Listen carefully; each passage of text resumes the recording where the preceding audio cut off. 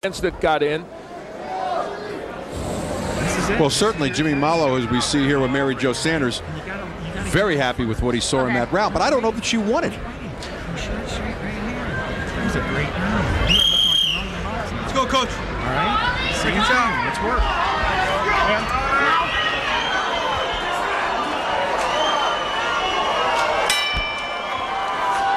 Well, as we mentioned between rounds, Jimmy Malo very happy with what he saw that round.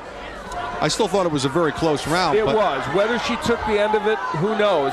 You know, these women are. Uh, Mary Jo Sanders 5 0 in world title fights. Holly Holm 10 0. Someone's streak will probably come to an end. They've had some common opponents, and two of the three, Shadina uh, Pennybaker and Trisha Turton, picked Mary Jo Sanders to win this fight, while Chevelle Hallback was kind of non-committal. Step back, step back. Watch your heads, ladies. Watch the heads. Kenny Bayless is already worried about the heads coming together. He had issues with that earlier in the evening in another fight. Stop! And that's something you don't see a lot of right now, a clinch in the middle of the ring in a Holly Holm fight. And Mary Jo Sanders, again, as you pointed out Earl, last round out, not able to take advantage of when she finally gets her inside. Holly Holm doing a lot of holding in there. There's body work by Holm. She she got hit with a good right hand, though, did Holly Holm. And there's a little mouse underneath the left eye of Holly. Good uppercut on the inside. Now learning how to fight on the inside of Sanders, letting her hands go.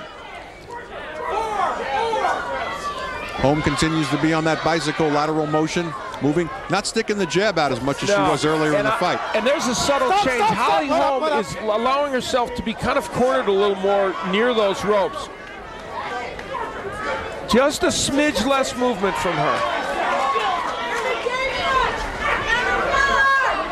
Sanders not throwing anything here at the end of the round. And a nice, just I say that beautiful right hand lead by Sanders. Perhaps her best punch of the fight. She's had her moments in this round. Is it enough for Mary Jo to win it. Tough rounds to score. Yeah, very good.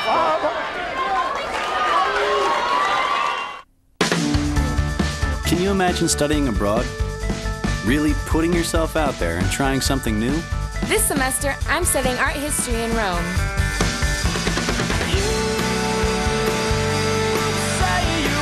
Can you imagine exploring the world?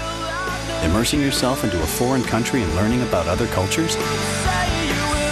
I'm studying economics in London. Can you imagine being pushed further than ever before? Challenging yourself so you can make a difference and get the most out of college? I'm studying Spanish this semester in Madrid. And surround yourself with new cultures, inspiration, and experiences that will move you towards a great future. Think about the possibilities. Explore the world. Discover your potential. It all starts here. St. Mary's College of California. Give her some water, Pop. Mary Jo Sanders has landed some good right hands. That was her best of the fight, and more importantly, she worked on the inside when Holm got inside after that. Relax. You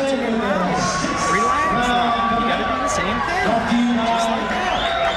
How do you feel? Deep breaths. You Look good now. That was a good run. It was your round. You got to keep this pace up, Joe. I'm telling you, you're in her home. All right. So what are you gonna do? You bounce? Yeah, yeah, stay, stay jab. Yeah, she's gonna throw it initially. I got you. That's what I'm calling first. Put her jab. You got it. Right jab. Step up your jab. Jab, jab, jab. Seconds out, coach. All right. Mouthpiece, mouthpiece.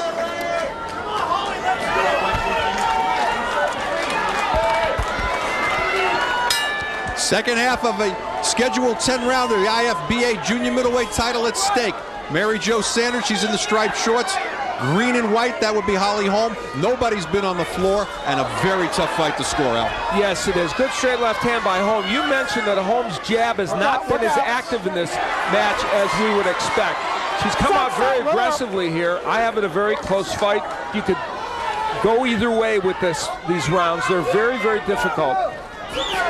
I have Holm up 48-47 at the end of five, but Very narrow margin. That's the way I have it as well. But I got to tell you, we, we need to talk about that right hand lead because that Mary Jo Sanders threw near the end of the fifth round. I really believe that's the ticket and that she shouldn't be throwing the jab. But the right hand lead was just beautiful and really stopped Holly dead in her tracks. Well, she got it in, but the problem is she's got to put herself in position to throw these punches. She has to move to her left, cut Holly Holm off, and then be in a position to throw whether it's the lead or the left hook to the body that will stop her from moving. It's another thing. Mary Jo Sanders hasn't thrown that left hook downstairs that stops the movement of the left-hander. With all that, she may well have won the last two rounds, and she's certainly becoming a, a better aggressor in this match. Work, work, work out. However, inside right there, Holly outpunching her four to one when they got inside. And Holly Holm lands a lot of body punches when she gets inside. Stop, stop. Holly Holm has one of the most unorthodox styles I have ever seen in boxing, and that's what makes her such a difficult fighter to fight. You know who she reminds me of, and no pun intended on the name. Remember Keith Holmes, middleweight. Absolutely. Used to bounce like that. Big, tall left-hander. I had Paul Vaden fighting him one night. It was like fighting a kangaroo. Yeah, very easy, Stop, all over you. This is a tough round here. It's uh, not a lot of activity, a lot, a lot of punches landed by the woman. Holly maybe just a little busier. Yeah. Time.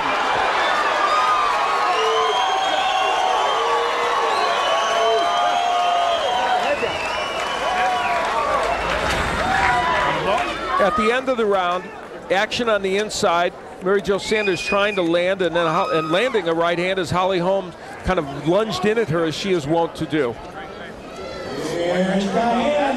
Nice little welt under the left eye of, of Mary Jo Sanders, too. So they're a little even on that count. Get off that jab. Got it?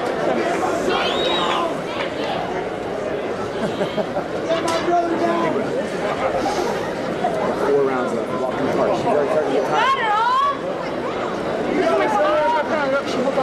I know, and I told her she was holding, so it's okay. All right, let's give her the jab. Stay on that jab. Takes it. Open the jab. That's behind her, all right?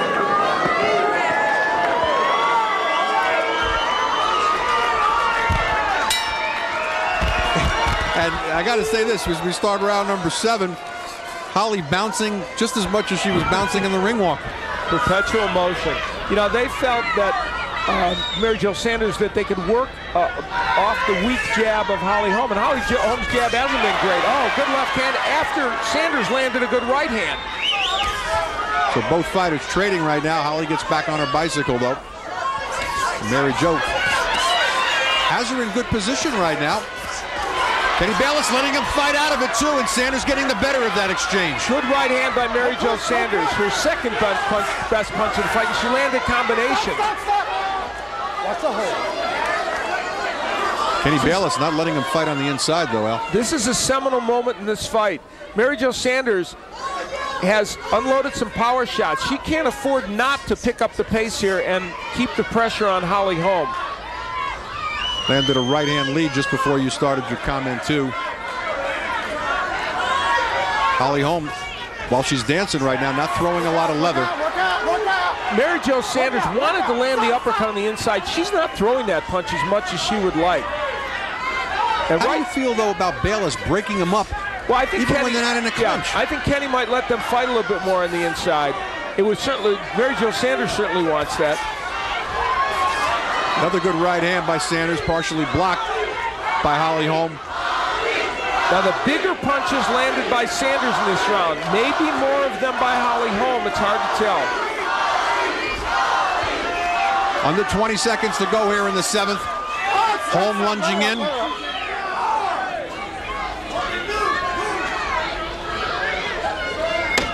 Less movement from Holm. No jab. Nobody can spell jab this round. Good finish for Sanders.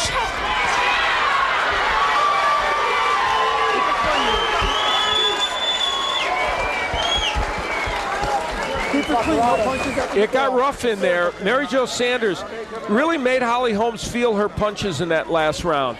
And right at the end of the round, they wailed away and Kenny Bayless got in between them. But it was a, a round in which this young lady landed some power punches. Pete Brown, is everything all right? Well, you take a look there. Charlie seems a little concerned. Well, you know, it, as we pointed out, he isn't, he's always nervous during fights, and this is a very close fight right now. One that uh, you know could tilt either way. Let's go. Okay. Hey, if you don't dominate these next three rounds, I'm telling you. I'm gonna book it. You don't dominate these next three rounds, this is gonna be hard. All right, coach. Bucket, Okay. hands up. Let's go. You gotta win these next three rounds.